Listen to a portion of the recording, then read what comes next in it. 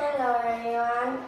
Today I'm going to talk a color mixing drop. First is orange. I make red and yellow. I make red and yellow. Orange of oranges and orange or an orange. Is is green. I make yellow and blue to make green. Green of tree, a shirt, and grass. Final is purple.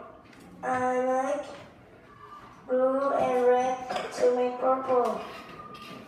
Purple of the flower, the pens, the pen, and ink.